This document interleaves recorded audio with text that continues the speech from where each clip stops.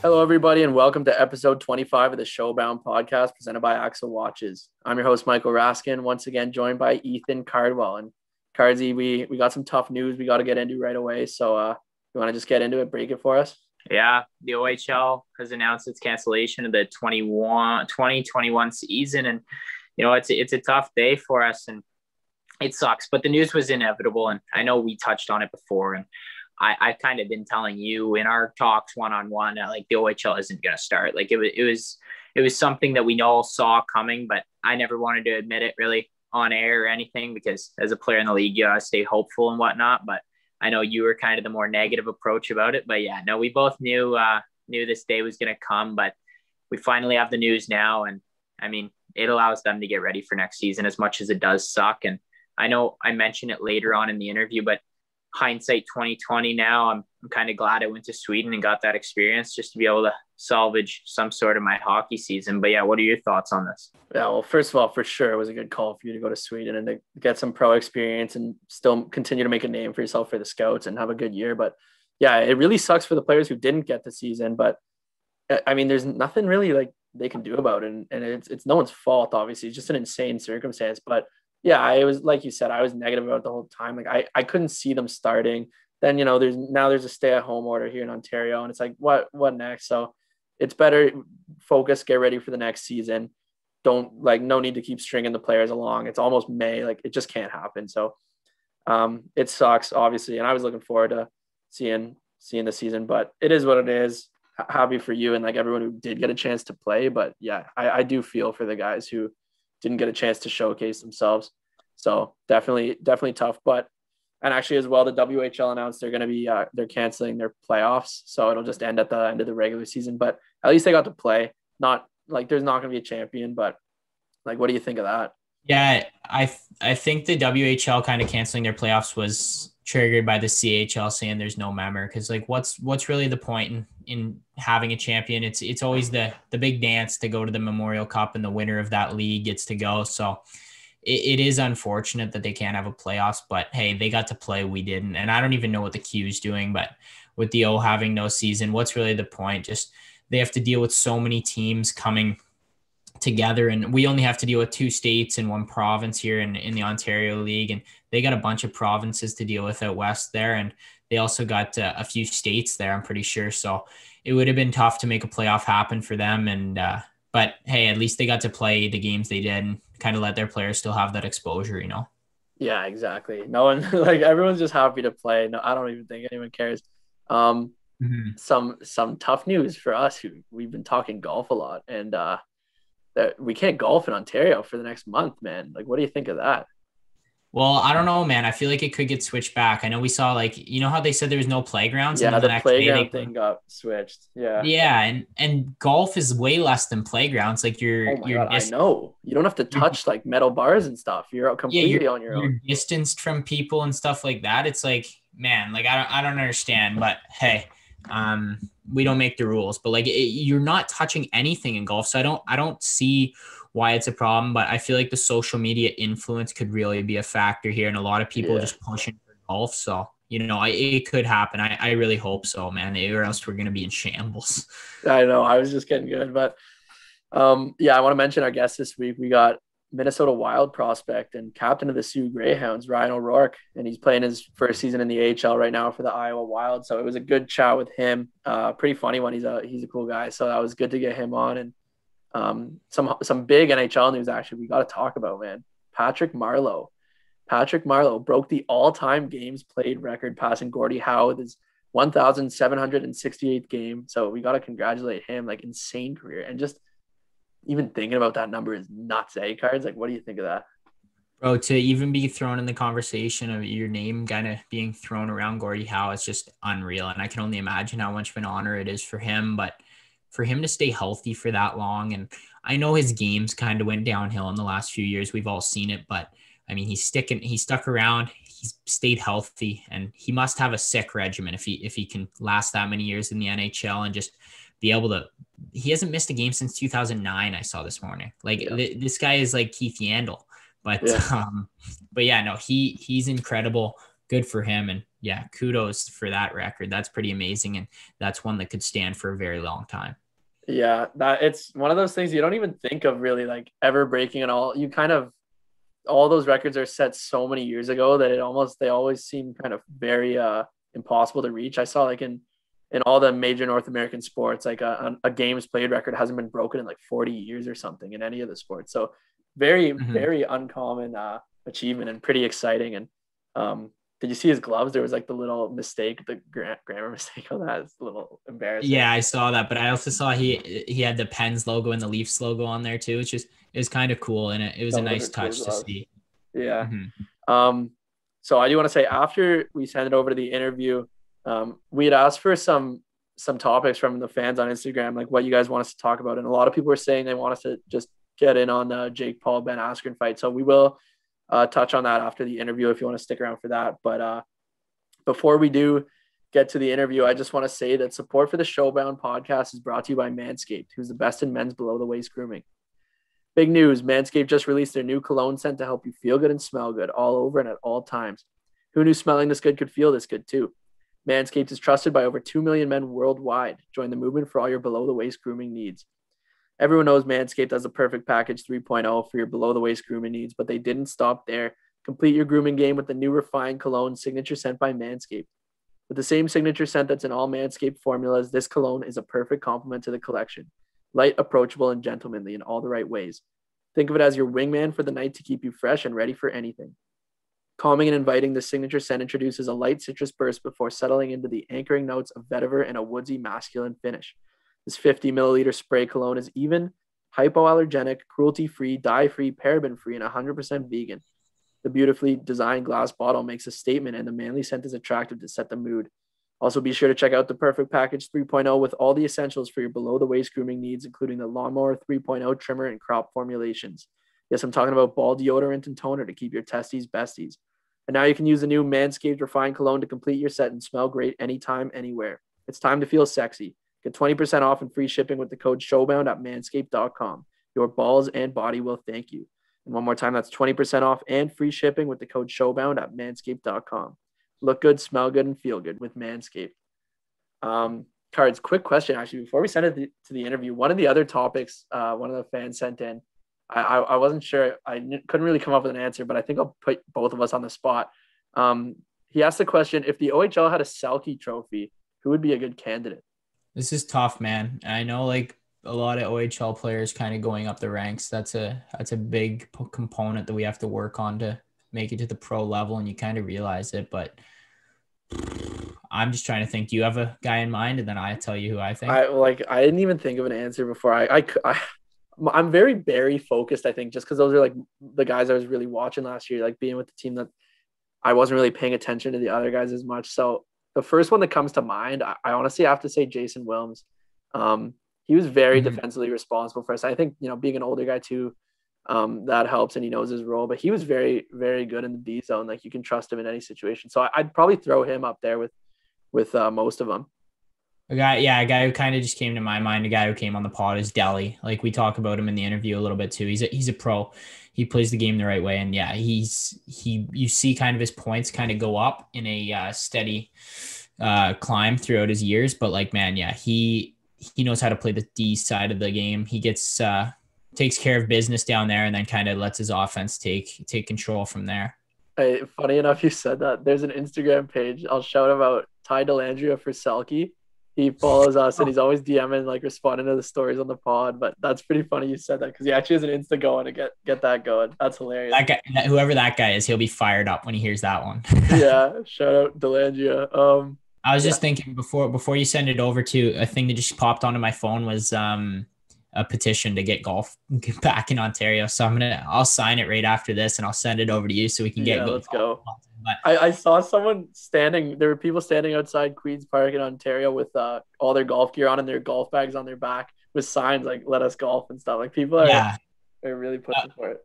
That was classic, man. And um, you know what? We're, we're gonna be we're gonna be looking good regardless when we get back on the course. We're, we're gonna be rocking our Axel watches, AX underscore Showbound for for everyone who wants to go purchase an actual watch and be looking like me and Rask and to go along with some golf merch that we're going to be picking up soon. We can't disclose information on that yet, but uh, yeah. we're going to be smelling great. I mean, I think birdies are just going to be flying to us with our great smell from the Manscaped cologne. But yeah, I think I think that pretty much does it.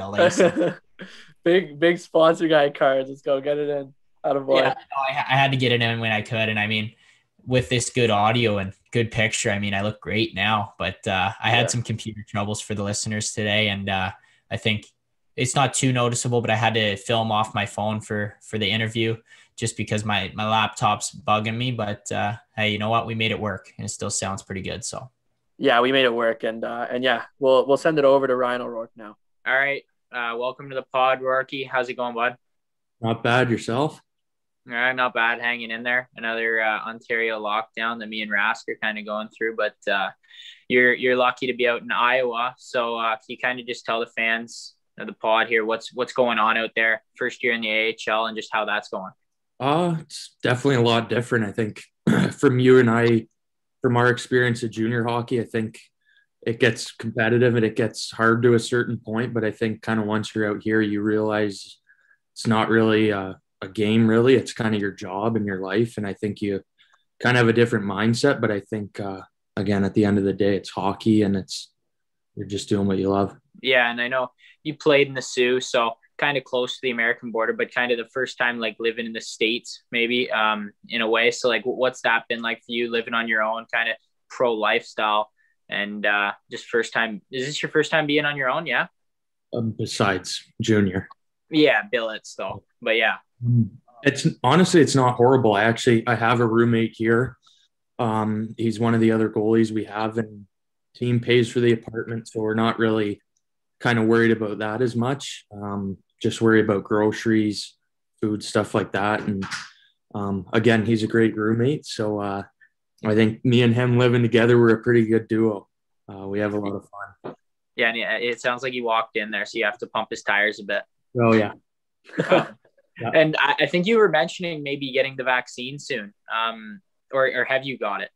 Uh, our whole team's actually got it. Um, we are pretty lucky that they had a good amount sent here and the team doctors kind of fit us in there. So a lot of us are really thankful for that. And I think it's, it's definitely great for us to have. Yeah. And I mean, we just saw the news kind of this morning about the OHL shutting down and stuff. So that's unfortunate on that front. I mean, in the, in the States, they're kind of firing vaccines out more rapidly than uh, back here at home. So you guys are fortunate enough to that, have that and kind of have the season going smooth. And it's going to be nice for you for summer to kind of come home and not have to worry about much. Yeah, seriously. It's pretty wide open here too right now. So it's been it's been the cases have been down, but again, I think everybody's got to be careful, especially us with kind of the setting we're in and the opportunity that we've been given this year. Yeah, and another thing, just kind of before I send it over to Rask, is you guys you guys actually have fans in the building, a decent crowd every night too. To say that like it, it's not small crowd, so how has that been to just be able to play in front of fans? Uh, it's definitely better than none. Um, I mean, we go to Rockford, they have none there. Uh, Texas has got a pretty decent crowd. Chicago's a practice rink. Um, we get, I think we get over like say four and a half, five thousand each game, and we got a pretty wow. big. It's yeah, it's definitely better than no fans. It gives you, it's kind of that sixth man, and I guess it kind of motivates you a bit more to play better for the fans. Yeah, not bad. And you play in the Minnesota Wild rink, right? Uh, with the farm team, yeah. With Iowa. Yeah, yeah. So you're in the big big rink though. Yeah, yeah, yeah. Okay. So okay, that's that's pretty cool, man. That's definitely cool. And um, I just before we like we, we'll get back a bit to the AHL stuff and talk about that a bit later, but I want to kind of go back. We we sort of bring it back through the beginning of your career and work our way to now. So I want to talk minor hockey. Um, I'm I'm just curious because you know you were like you came into the OHL and stepped in like a like a top player type of thing. Everyone kind of knew who you were. In minor hockey, were you always kind of on the the better end? Like you were always really good and dominant at those levels. I think I was always on good teams. Um, I think I wouldn't really say some. I'm sure there's some guys that you know they say I'm a good. Excuse me. I'm a good.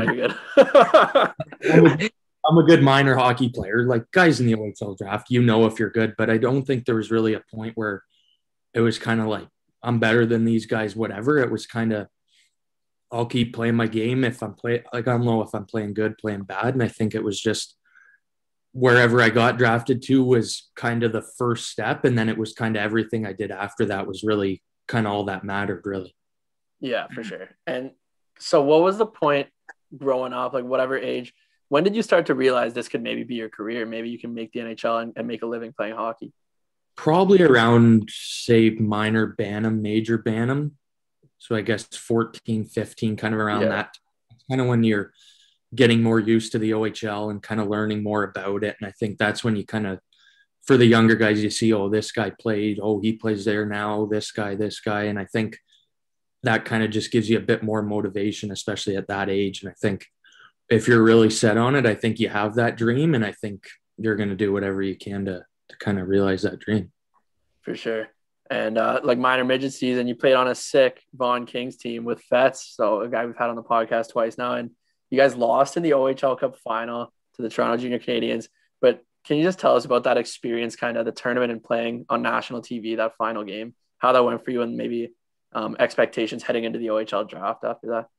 Um, I think for me and Fets especially, we were lucky. We played with Whitby the year before, um, and kind of got a taste of the OHL Cup. I think we lost in the quarterfinals, um, but that game our year, I think it was probably a lot a lot of guys it was their first time on TV in general or even on a game like that. And I think it was just kind of I wouldn't say added pressure but there was kind of more to the game. Um I think yeah we got out on the wrong end. I think it was 5-1 or something in the finals. And that was the team I had played for for 6 years in the GTHL before that in minor hockey so that stung a little bit more too um but yeah, I think it was it was definitely a cool experience to kind of be in the position you were uh, in the setting we were, and I think overall a great experience, and it probably helped with kind of leading into that draft and and kind of finishing the year strong. So yeah, before the OHL draft, you had a couple games in the OJ with the with Whitby. So how was that little taste of junior hockey for you?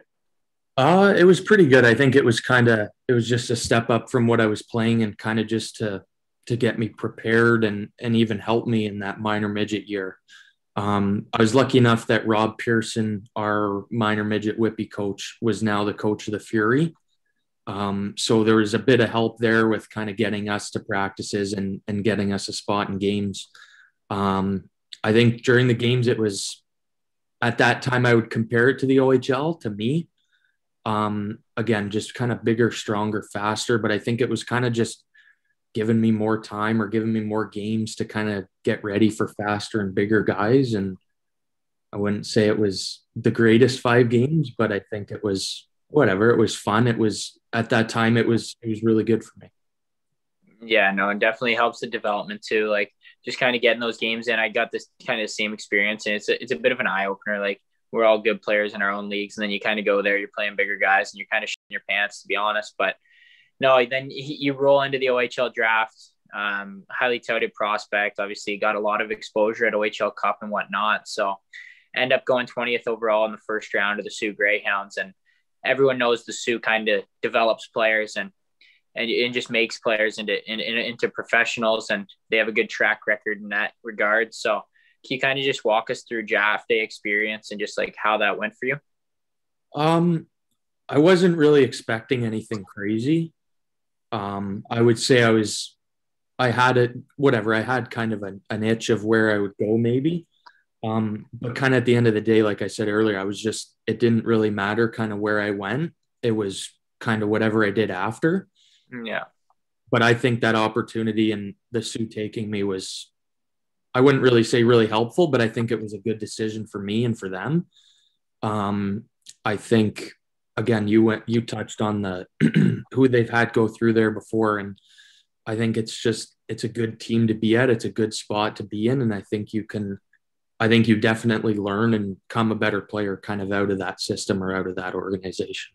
Yeah, and just before like Rask, you know, talk about your first year here coming up, but I mean, we were talking about the OJ and just kind of playing against bigger, tougher guys, and you, you kind of came into the league as a 16 year old and you weren't afraid of the physical play. You played mean, tough, and I know we're like we're buddies, and you're always hacking me, and, I, I hated playing against you. You're, you're one of the tougher guys to play, especially when you got to play them eight times a year. So that's not too enjoyable. But yeah, I no, Rourke definitely steps in. He's a offense like offensive threat too. I remember you scoring in the first game of your career, but yeah. So Rask, you got anything? Well, what was that like? Take us through that first game you scored. How does that feeling go? Like big weight off the back or what? I don't really remember that game. It was a tappy. I can remember because I was in the crowd. Where you belonged at that point. Yeah.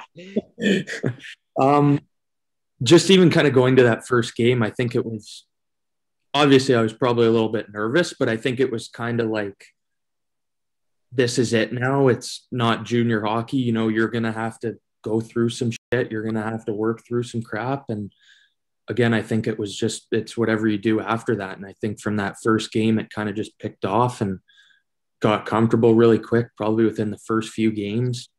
Um, and then obviously, yeah, scoring my first goal, my first game was, was pretty cool. I, I don't remember how it really developed, but we had 2D up in the rush somehow. And I think it was DeMeo who kind of threw it over to Frost, and I was just there kind of waiting to Selly, and I wasn't expecting it, and he just tapped it back, and I think I had the whole entire net to just tap it in. So pretty cool one, pretty cool to have him assist on it as well. Um, he was a great guy.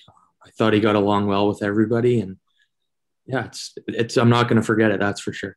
So yeah, so like Morgan Frost, there's some other big names. You played on a sick Soo team your first year. Like um, I think they finished top the year before or something, and and they've always just been good. So, how does the adjustment go for you stepping in with an already extremely talented lineup? I think it's kind of with any team. I would say the same. I mean, it may be different other places, but when you're kind of playing with those good players, it gives you more confidence and you see them making plays and you see them like if you move them the puck, you know you're doing something good. If you it's easier to play with them around you, I think. And even if from the forward guys, you learn a lot kind of about how the league is and you learn about other guys. And so I think having them there was pretty good. And obviously having the year they did before was for them really good. And I think my first, I don't, we didn't really, we lost to you guys. We lost to Saginaw in the second round. Yeah. Uh, personally, I thought we had one of the best teams in the league. Obviously, you know, there's better teams, but I thought we had a really, really good team. And I think, you know, Saginaw was a bit better and they got the best of us. But I think even just from that first year playing around the playoffs, I think you just learn so much from those older guys and and those guys that have now moved on to the NHL. You kind of just just wears off on you, really. I mean, I was gonna bring that up. You lost to Cardsy second round of the playoffs there, but how was how was that playoff experience? Like the change in the atmosphere, especially in the Soo with with the team with such great fans. Like how was that experience for you and what kinds of things do you learn going through that in your first year uh, I can remember before our first playoff series, we played Owen Sound, and I remember our coach saying, "It's just you take regular season hockey compared to playoff hockey, no matter what league it's in, it's it's just two, three times better. It's two, three times quicker." And I remember that Owen Sound series. I think we lost the first game in OT, and then I think we went four straight and knocked them out. And we were, I think we were riding a bit hot. And I think we had a pretty good battle against you guys that year in the regular season, Cardsy. Yeah. Mm-hmm. Well, dude, actually, what I remember too is we we had just won our first game against Sarnia too in round one, and we were all watching because you guys were in OT your first game against mm-hmm. Owen Sound, and was it Sushko? Who scored, and somebody did a re- absurd Sally, and we're like, "Okay, it's over." Like the Soo's gonna tr- no wall sprinkled it on his hand. No, yeah, yeah, man. Does that get the boys fired up to win the next one? Uh yeah, it does. Yeah, that's funny. What, what did he um, actually do there? I think you kind of cut out when you were saying it. Like, what, what was the Selly in OT? I remember how he scored, but I think he turned around. he kind of like wiped the ice off of his blade and like sprinkled it on his hand like that. And guys were like, "What the hell is this guy doing?" and four straight. Yeah, and then four straight sweep. It, we got him back in the end. It's whatever. That's unreal. Yeah, but dude, I actually one thing I was just gonna chime in about the Soo, like like the Dow, it was getting pretty good and everything, but like the Soo, everyone, it's known like that. That's what they're known for. They're the, the Greyhounds, and everyone gets behind them. And we talked about it before on the pod. I think we were talking about with Dammer. Just like the crazy fans in the Soo in the playoffs and stuff. And you got that yeah. lady behind the bench chirping, and it, it's a gong show there, man. And it just people are losing it. I remember I was in the cr- crowd, like I think one or two games that we were in the Soo, and people are just screaming at me. I'm like, buddy, I, am not even out there. Like I'm not doing anything right now. Like relax. And then um, I remember Ivan, our goalie, was getting into it because he flipped the net, and people were freaking out. But that was a, that was a that was a good series overall, though. Like and we kind of took a stranglehold on that series, and then Frosty kind of woke up and gave you guys a second life. I remember just he had like a hattie and like two apples, and I was like, oh no, we're in trouble. I remember, I think game one was, I think it was six four maybe. Yeah, one was a real good game, and then I think it was game two. You guys beat us maybe three nothing or something like that. and then game three, we go into Saginaw. It's we're all, you know, hoorah before game three, like we're down two, we need a win. Yeah.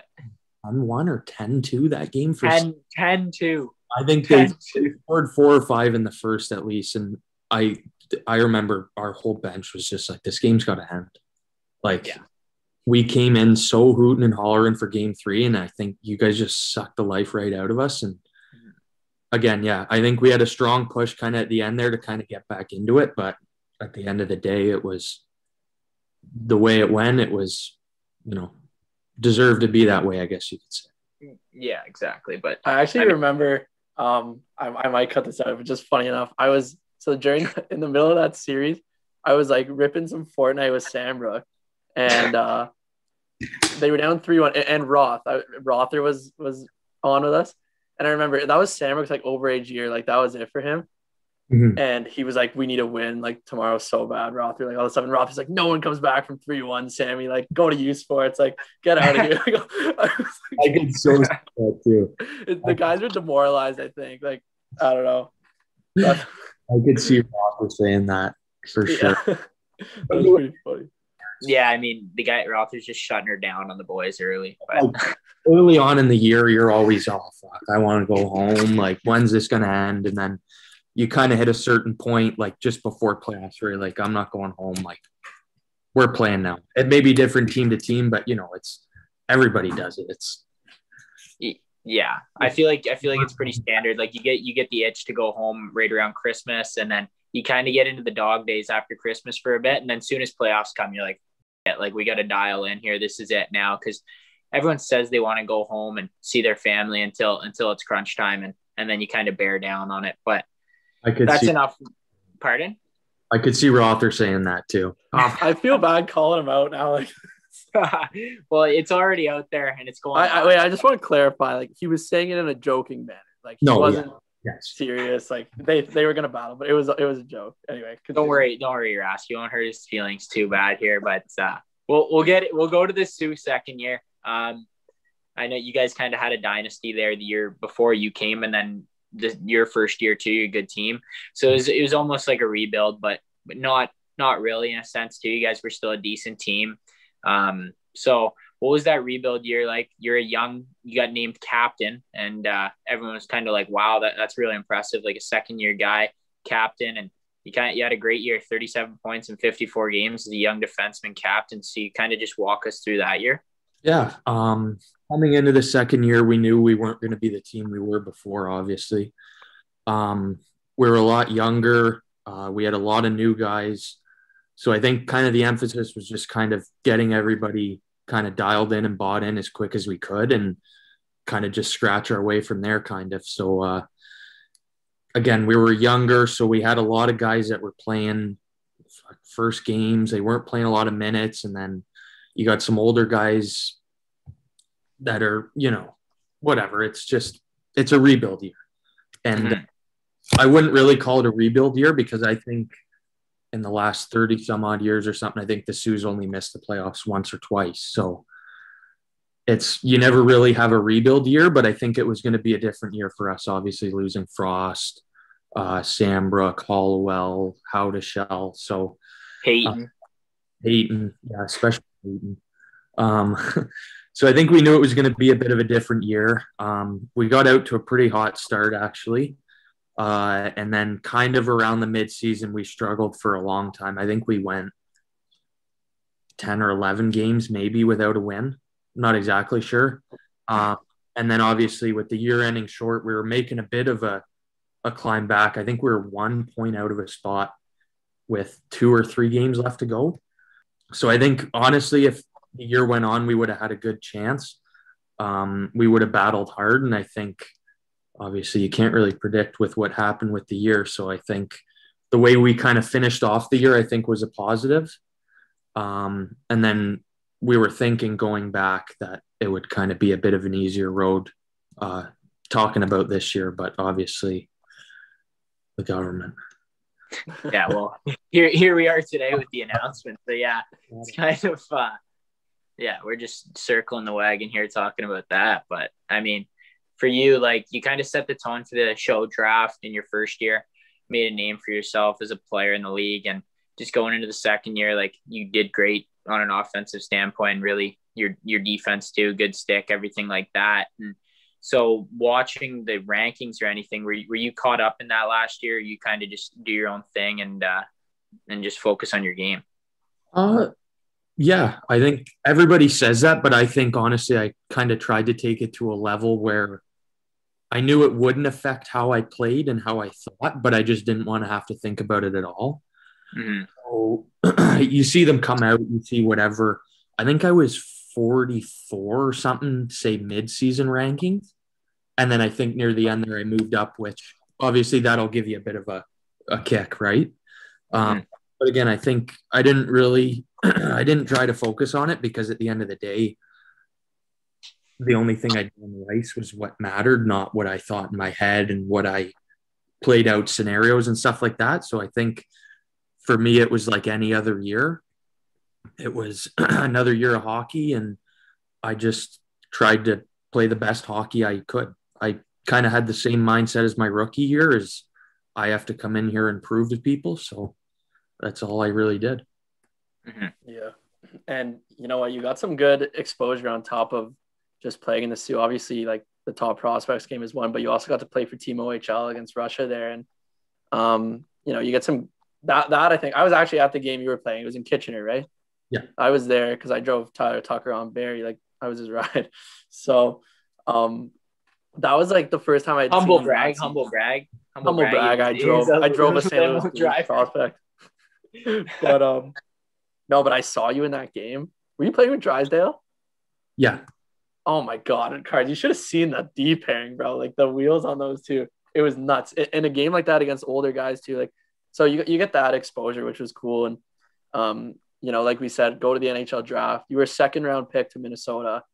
And mm-hmm. uh, can you just take us through the draft? Like maybe a little disappointment not going in the first, I would assume, but I already know your answer. You're going to say like, you know, you get drafted. That's all that matters. But go ahead.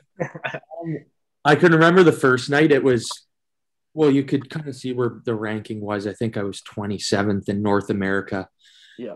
And you can kind of get a feel for where you slot in, say, if you combine the North American and the European. Um, I thought, you know, it was kind of even anywhere around that number was, I would have been happy, and anything kind of outside, I was happy. So, day one was I was waiting, but I w- I wouldn't say I was expecting something. Yeah. Like I, they made us set our laptops up and all that.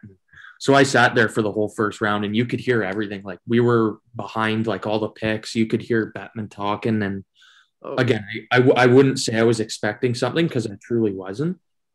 Um, and obviously if it happened, I would have been going nuts. But mm-hmm. uh, so after that first night, it was kind of just, you know, my coach texted me, oh, it's fuel, it's this.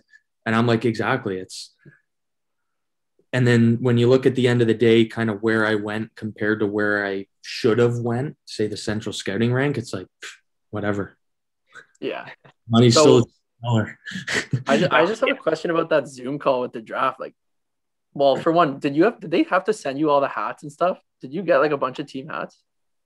I think it was a week or a week and a half before this massive box like this big shows up and what the hell is this? And it's uh, whatever the NHL is it Fanatics, yeah, whatever brand is they use for all the apparel, and I'm like, I got no idea. and rip it open, I just see an NHL hat, and I'm like, huh. Next one, rip it open, rip it open, just hats everywhere, and I'm like, Jesus. Like, and I, Not that- jerseys too, though, right? no, not jerseys, Okay. just the hats. And that's kind of when it kind of set in. It was like, like this is coming. Like, you know, it, you kind of get that feeling, that itch. You're like, it's coming. And you Mhm. put on the hats and you're like, shit, I'd love to play for that team or that team or whatever. So that was pretty cool. We kind of just had them all laid out, whatever, just by the side there from the video. Um, but yeah, again, kind of just touching back to that, it was it wasn't really a position of where I got drafted. It was kind of just again, it was what you do after. And I think you've seen a lot of guys, you see the percentages of the first and second round guys that play in the NHL, and then you see the percentage of the guys that are undrafted, and the undrafted guys are higher than the third, fourth round, like those guys. So I think it doesn't matter where you get drafted, what number, whatever. It's you can do work. There's G on our team, the fifth or sixth round pick. Yeah, G's a fifth rounder, a late fifth rounder at that. I think he was like the last pick of the fifth. Yeah, I think he's second, third, or fourth in scoring on our team. It doesn't matter. It really, it truly doesn't. Yeah. Well, No, that's, when you have a motor, when you have a motor like G, though, it doesn't matter. And we're gonna we're gonna have him on the pod. So for the for the listeners, that's Damien Giroux. I think he's coming up within the next few weeks, potentially next week. But he's he's an animal, and if you want to watch a guy work, or he'll do anything, man. That guy would eat a goalpost for his team. He's, uh, his nickname here is. Can you say that again? What you just said? He'll eat a goalpost for his team. What did he do today in practice? Ate a goal. no, he No. did. Tell tell tell us about it, Ben. He's a Second mess. drill in practice this morning. It was a new drill. We hadn't done it. And he was head down driving the net. And I didn't see it. I just kind of heard it and saw it after. But I think just head down driving the net. And I guess he just blew an edge or something. And I think he went like ribs straight into the post. And then I think he whacked his head too. So I shouldn't be laughing. gets off, the ice and he was our ride to the rink today. So the one uh the one uh equipment manager comes over, he goes, G's keys are in your car or in your bag. So I'm like, well, great. So G leaves practice, whatever, comes back to the rink. He's like, fine. I'm like, G, like, what the hell, man? He's like, oh yeah, like whole side of his eyebrow here, six stitches right on the corner. And I think he said he had a fractured or bruised ribs or something. He's like, oh, I'm fine. Like Man, that guy is an animal. play through it. Yeah, no, he'll he'll play tomorrow or whenever you guys play next. He'll he'll be in there. Oh, that was hilarious though. How you said he'd eat a goalpost because that's. I love that. I love that on him. I got I got one more question about the draft pick, but just Minnesota, obviously, like I said, did you have a lot of contact with them or like Zoom calls or whatever was going on throughout the season, or did it kind of surprise you this that jumped out of you didn't really talk? they are the one team that I had zero communication with, not once. Zero. Yep. Crazy. Wow. That's So yeah, you must have been surprised. I was. I was very surprised. I kind of had a feeling when they were coming up. Uh, I think they had 37 and they had 39. Uh, they took Rossi, and then when they took a forward with that pick, I was like, they're not going to take three forwards in a row in the top two rounds. Like, could be something. And I'm like, I didn't talk to them all year, whatever, whatever. And then I would say, yeah, it was a complete surprise to me. Man, that's so interesting. Like we keep hearing both sides of it, where the, they're like, Yeah. "Oh yeah, I had so many good calls," or, or a couple times now we've had like I haven't even said a word, we had one call. Like I wonder how much weight certain GMs put into that stuff. Like I really have no clue, but Well, it's very interesting for me to hear. I don't know. There's a, there's a like there was a few teams that I would say I talked to probably three or four times leading up to the draft, and those are probably the ones that I would say I had the best feeling with. Um, so I think to kind of get picked like that was again I wasn't expecting it, but I think that kind of made it even better. And I think just even getting here, I think the player development guys, it's like it feels like I've already known them before. Like, but I I didn't talk to them before I got here. So Yeah. it, it was weird in the moment, but I think now it's kind of just like whatever. It's it's normal. Mm-hmm.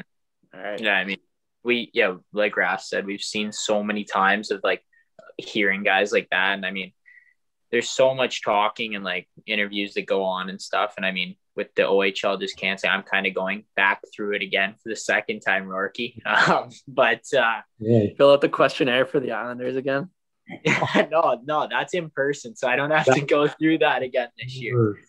That's like after a game you lose, you got it's like 10 30. They're like, here, come do a 156 question survey that doesn't really make sense. Man, see, that's that's another one to add to the checklist talking about the Isles um, questionnaire. Mm. Man, everyone we've had on has mentioned that, and I mean, it, it's hilarious. But I mean, it works and for them. Every guy so, that was on your team that went through it the year before told you about it too. Yeah, everyone knows about it. it, it it's it's like this thing you're just you're just waiting for it, and it's creeping up on you, and then and then one day it hits, you're like, holy shit, they weren't kidding. This thing's legit. All right, yeah, and following the draft, Rourke, we kind of got into a long off season there, and uh, I know we spent some time at Corny and stuff, so just a few few fun four on four games and such like that. But how was your off season going for you? Like it was a long one, and then kind of just jumping into Iowa after like maybe what has it been a year off almost? Uh, I think it was almost. It wasn't exactly a year off, but pretty close. Um, mm yeah, I think it was for us, it was kind of hard. I think we got shut down a lot of times. Um, we couldn't skate a lot of places and we kind of had to wait. So for me, I think the longer summer kind of benefited me though. I think being in the gym more, kind of having more time away from hockey, kind of let me gain a bit more weight. Um, and you know, kind of just dial in with that and kind of get to a point where I can can play and be good. So I think in that respect, it helped me out with kind of my development that way. Um, but I mean, man, I feel for you guys who have been sitting for now over a year um, and kind of can't really do anything about it, kind of just get screwed at this point. But again, for me, I think it helped and I think it prepared me for coming here. And obviously, it's a privilege for me to be where I am right now while everybody else is kind of suffering. So I'm grateful for that every day for sure. Yeah, and I mean, a lot of guys did go overseas and stuff, and you were under under contract with Minnesota, so they they definitely had plans for you and stuff. But like, I was talking to my parents today when we saw the announcement about the O kind of shutting down. I was like, thank God I went over there just to be able to salvage some kind of season. I mean, get 20 games in or whatever. But yeah, no, it's it's definitely nice that you guys can play, and it's definitely nice like the older guys there. But it's tough for the draft eligibles this year for sure. But I mean, yeah, it was a good off season. We had we had some good fun at Corny, so what wasn't too I, I heard just a, a, little rumor that Rourke, you're a floater in the four on four skates at Corny's. You don't you don't back check or what? What's this? um, I'm trying to think of who sent that into you because I think I know who. But yeah, that is pretty true. Man, oh, shout out Rourke will. Hey, I'm more about. Oh, okay. I wasn't thinking that. That's Bro, a good. That's a good one. It's I all- was I was a cherry picker too, Rask, but like this guy was beyond bad. No, you would just legit stand at your own goal line and take a pass and then go on in a two on O. Yeah, I think some of those skates were a little bit outrageous, and I think it kind of got to a point where it was like do our skills, get our crap done, and then the four on four and all that was kind of just a I wouldn't say a joke, but it was kind of just like just for fun. Everybody every yeah, everybody just doing what they wanted. So I'm not really gonna back check when we're going three on three, four on four inside the blue line. So I just you know kind of hang out and do my own thing. But you know what? When it, it when the show guys were out there, and like you had Delly out there too, and like Delly goes hard, and um like when those guys were out there, it's pretty legit. But like other times, yeah, we just be effing it's, off. Yeah, because those those guys are the ones that are kind of bringing the tempo, and you have to keep up with them. But otherwise, it's it's kind of every man for himself out there. It's a bit of a bit of a debacle out there, at least, but it's good fun. So I mean, can't complain about it. But um, I know we kind of touched on the AHL before, but just like the season itself, like how's your team doing, and you personally, like making the jump up there? I know it's like bigger bods, and you said it's a job, but like how's the team doing down the final stretch here with like a month to go?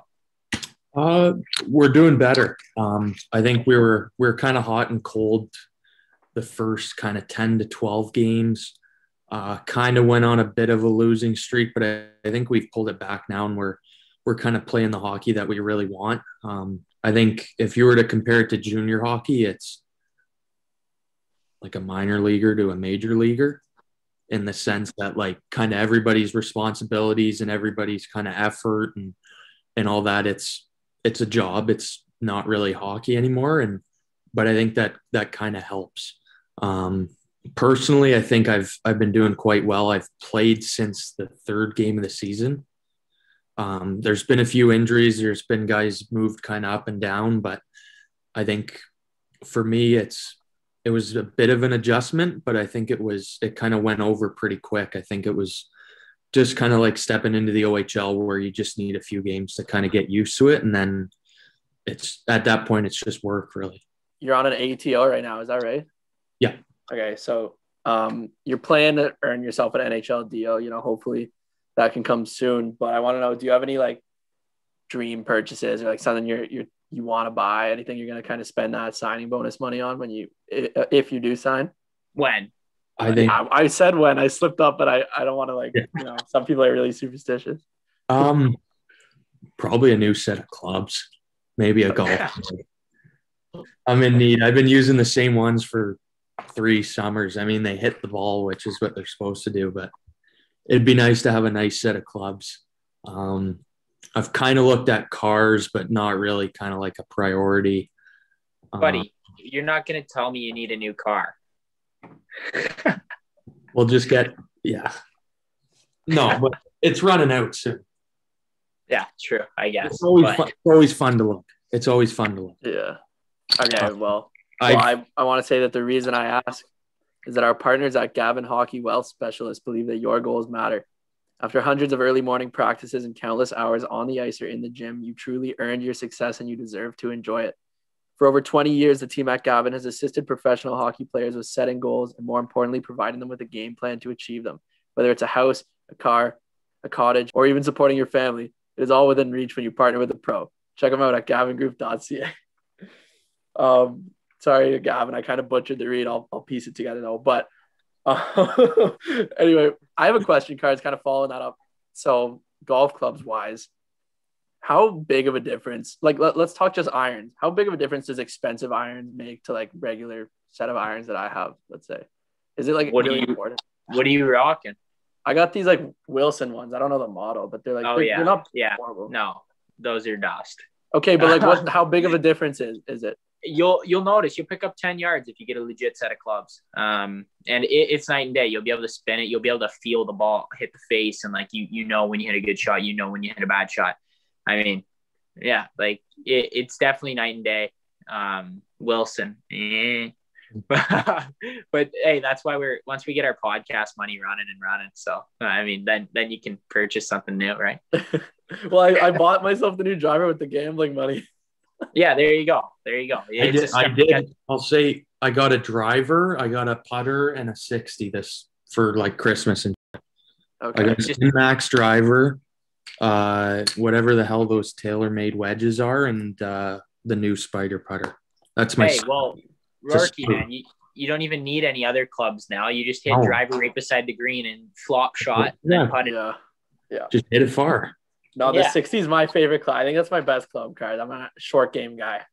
Yeah. So um we can we can keep it forward. Actually, we got a lot of fan questions or sorry, comments from fans before we get to the fan questions, just saying that they love the golf talk cards. Like we've kind of been Rourke, we've kind of been getting into the golf a lot lately. And I asked on the Insta story like what people want to hear, and everyone was like, keep the golf talk going. So I don't I don't feel bad like getting into it. They like hearing from a pro down there, eh? Who, um, no, yeah, you pro. Yeah, now that I broke hundred, I'm basically a pro. Um, yeah, could be. Uh, so we'll we'll get into some fan questions. Actually, before we do, I know we got a story that you you want to bring up, right?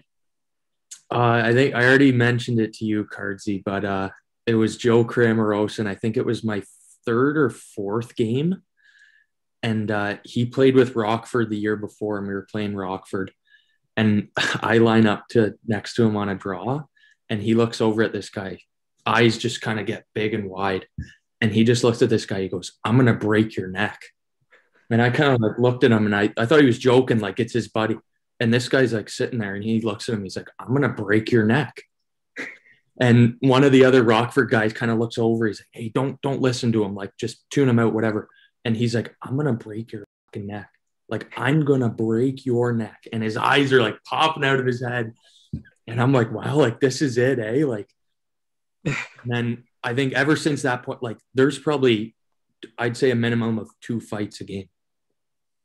I think we have like 457 penalty minutes in like 24 games or something like that.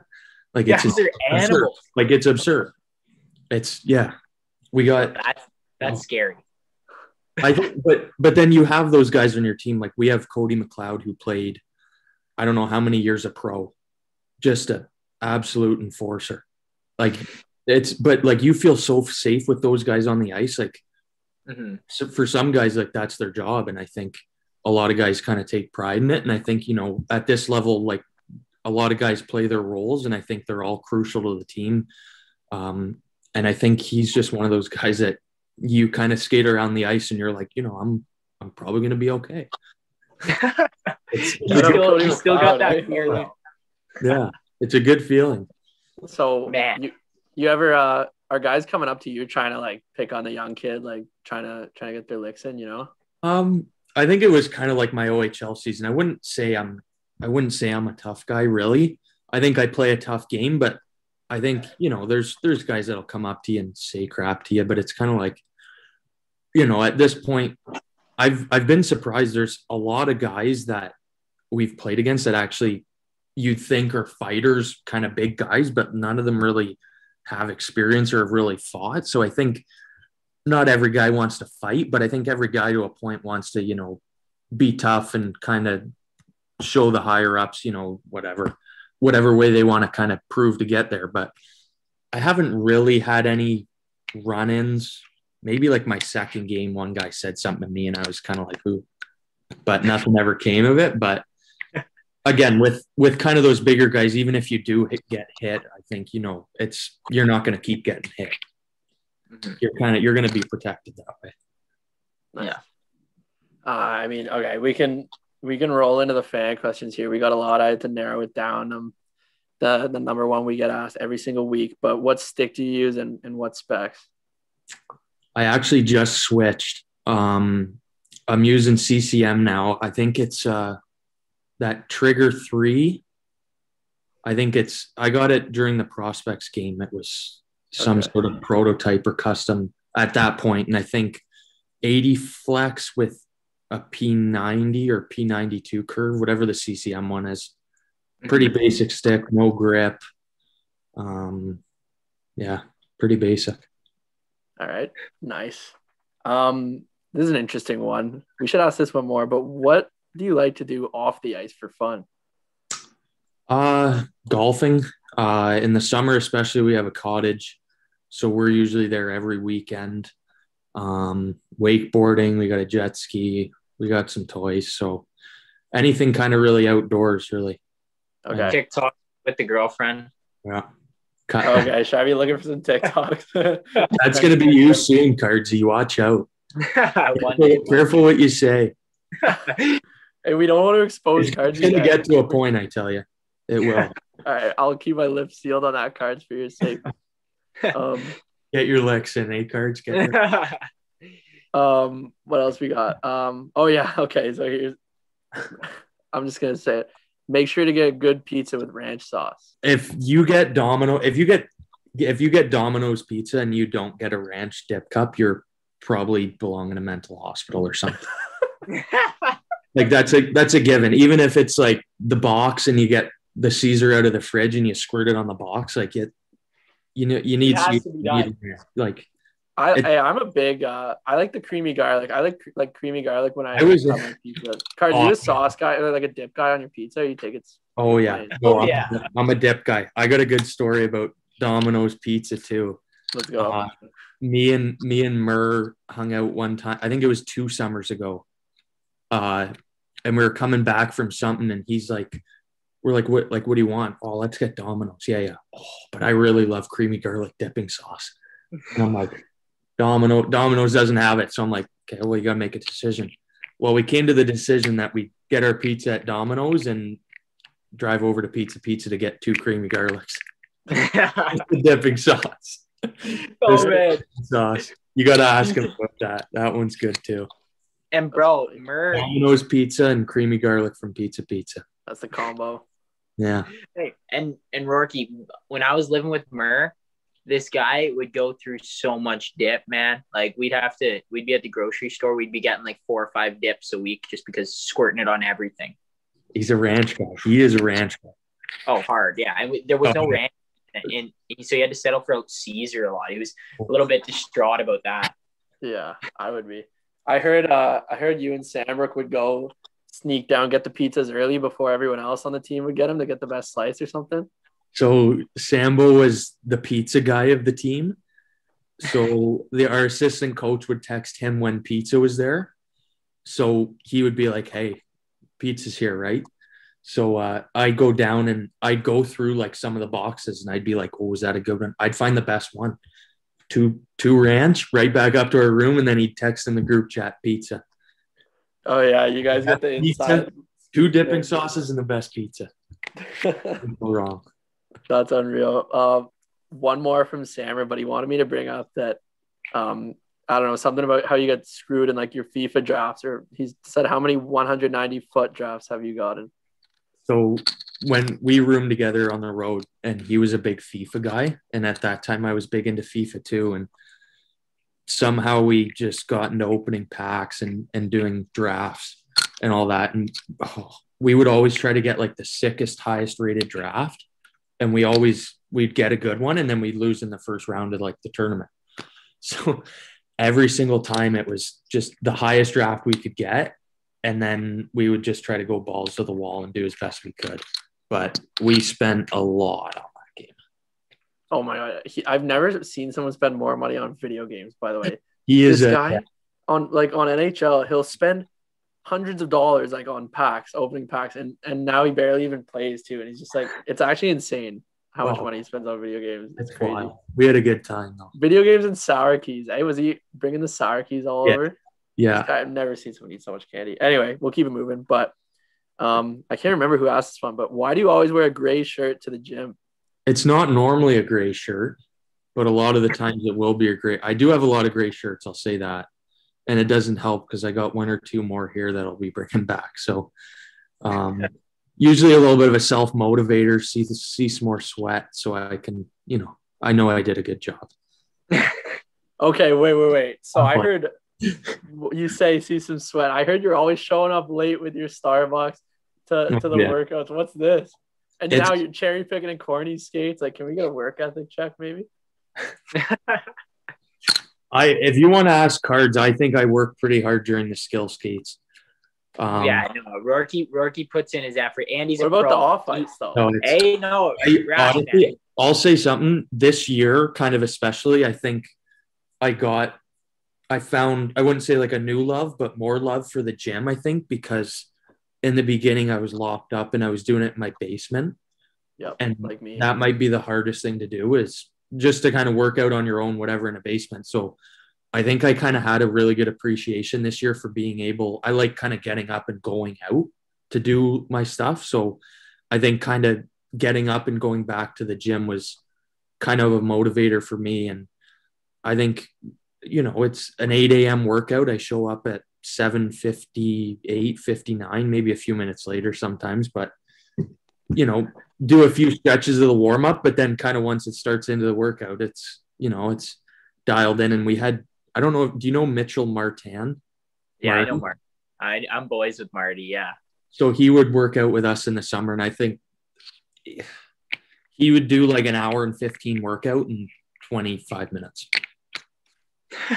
you guys in and out. He just wouldn't take rest. And I think a lot of us some days would actually try to keep up with him, and it was like, wow. He's a beast. eh? like he would just go man like he'd be doing extra too he'd finish all of his complexes and he'd do extra before we got to insane bro Marty, places to sicko, be. crazy sicko. But Um, yeah, i am known to show up late with starbucks but i always get the workout done and i'm always there so All right. days i just show up late um, what's your game day routine like, if you have one, or um, any and any superstitions like with that? Nothing really crazy, honestly. Um, I think pretty laid back. I think I'm usually if it's a home. Well, I guess if it's any game day, I'm usually skating in the morning. I like a morning skate. Um, usually come back. I'll play maybe a bit of PGA for a little bit, or just kind of watch some TV, something like that. Kind of get me tired. Uh, nap. I will say the one another superstition, yeah, is Starbucks before the game too. Um, usually leave a little bit earlier, get Starbucks. Um, nothing really crazy at the rink. No superstitions in that way. Um, I wouldn't really say anything on the ice either. I think I'm kind of just in my own world, kind of getting ready. Okay. Yeah. Are you uh are you taking Snapchats at your Starbucks and sending them around? No, no. Another thing is junior yeah. hockey. Like you know, sometimes you don't get like they say no phones in the room and shit. Yeah. Like the second you step in the rink here, your phone's gone.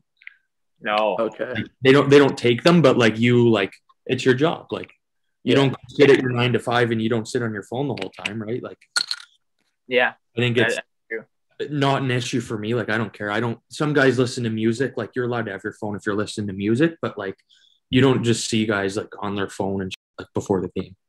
Well, yeah, I, I like on, that. If you're on a, yeah. if you're on your phone before the game in that league, they'll they'll legit snap your neck, like yeah. Buddy said. Yeah. Yeah. Break, break your neck. but I think Rask, does that pretty much do it for the fan questions? Uh yeah, pretty much. Yeah, I think that pretty much does it. I mean, we got we got a good uh, time slot here. I know we started a bit late, some technical difficulties, and Rourke running late because G ran himself into a post this morning. But uh, all in all, really good interview. Fun to catch up with you, Rourke. We really appreciate having you on this week. Thank you, guys. I appreciate it as well. It was a lot of fun. All right. Cheers, buddy. All right. I want to thank Rourke for that. That was a good one. Funny guy. And uh, it, it was cool getting to know him and chatting with him. What do you think? Yeah, it was fun, man. I mean, I've known Rourke since I was probably like eight playing spring hockey together and stuff. So nice to catch up. Haven't seen him obviously since uh since the season started, but good to know he's doing well there and uh lucky guys getting his vaccine. So I mean, I know you're you're in line. Would you get it? You get it tomorrow. Tomorrow. When when this comes out, I'll be vaccinated. That's that's a big thing, man. Good for you, and I'm happy for you. I know. uh I know I'll be waiting in line and can't wait to get mine. So yeah, soon enough. And uh, I just want to say because uh, we didn't mention it in the interview, but we we talked about it with Rourke before the interview, like off air, that we are sending him an Axel watch as we always do. So shout out Axel watches one more time. But um, like I said, we're going to talk about the Jake Paul Ben Askren fight now. And uh, for, you know, this is kind of basically the end of the podcast. If you don't want to hear about it, you know, feel free to sign off. But for the people who do, I have an interesting take. But first, do you want to just kind of like sum it up, cards? Yeah, it was a joke. Um, I think I think Jake Paul just needs to fight a real boxer, be put in his place, and uh, that'll be the end of it. Because I think if he fights a real boxer, it's over. Like we're gonna see his brother fight Floyd.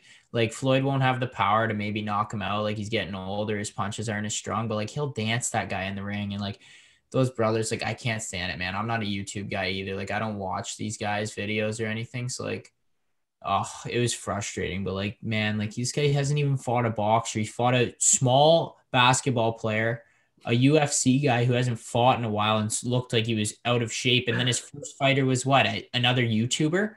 I, I don't even know what his first one was, but I know like he hasn't fought a. I thought he fought KSI or something. Somebody said KSI's brother or something. It's a joke. Yeah, like I, I agree with you, and and to kind of get into the fight, first round knockout, and uh, I mean, listen, I gotta say this, man, and I'm sure you've heard it or seen it. I, I don't I don't know if I believe it. Maybe I do, but I'm just gonna say it. Like this might have been staged, dude. Yeah, There's a conspiracy theory that it was rigged for Jake Paul to win. What do you think of that? Yeah, yeah no, I, I don't doubt it, man. Like the guy was just loving it after he got knocked out, and like the knockout yeah. was kind of nuts too. It looked like the guy was fine. Like he, yeah, he was wobbly for one second. He could have, but like eh, he's smiling. Everyone like the big video that went out, he was smiling. His wife smiling, hugging him. Like they're just laughing it up. Walking his post game interview, he's he's or post whatever fight interview, he's laughing it up. And I mean, quick, easy payday for him. And it's just like you wonder, man. Like a lot of people wonder. So I don't know. Do I believe it? Like, I, I want to say no, but part of me does. Like, part of me thinks like it's it's very like conceivable that it could have been man. Like Oh, for yeah. the ref to not let him get back up really that early into the fight, like I don't know. So I'll throw that out there for listeners to debate, but it's just an interesting one. And a lot of people are saying like Ben Askren, this guy like Olympian, like former national championship, like this guy's a gamer, dude. And for him to like to a top tier athlete, for him to not even care that he lost, like just laughing up after, a lot of people are like he just took his big payday and doesn't care. Like, like a lot of people think he, it was rigged because of that, because any athlete would be upset, right? Yeah, and those those guys like the Paul brothers, they have money from YouTube, and it's it's a bit absurd how people can make money these days. But um, no, like they got money, they got money to pay him off. They got a lot of money for that stuff. So I wouldn't. I don't even know if they were the ones who paid it. It could have been Triller that put on the fight though to make like. And, and there's a lot of people. There, there- honestly, it could have been anyone, but yeah, I, I mean, I was thinking more Triller. You're calling, you're calling everyone out under the moon here, under the sun. Sorry, but uh, yeah, you're just exposing Triller. But I mean, we'll, we'll keep mean, that on. Yeah, come at me, Triller. Set me up in a boxing ring, pay me my million, and, and I'm down to, to fight it. Yeah, but um, I mean that that anything else you want to touch on? Like that basically wraps it up. yeah, no, just obviously sad news about the OHL. I'm about to run under my year-end Zoom call with the Barrie Colts. I guess uh, kind of Oh, wrap man. things up and just look forward to next season. I just want to give all the OAs a shout out too in the OHL. I mean, for those 2000s, I feel for them. Um, the 99s we fell for last year, and they got a whole season in pretty much. But even worse for the 2000s, don't get to have their farewell tour. But you know, it's tough. But with that being said, I think I think that does it for us this week. Um, I appreciate everyone's support, as does Rask, and uh, everyone who's listening to this. Go sign the petition. Allow golf courses back open, so me and Rask can uh, have some sanity here and uh, be able to Yeah. enjoy our time. But no, everyone enjoy your stay-at-home order and uh, stay safe.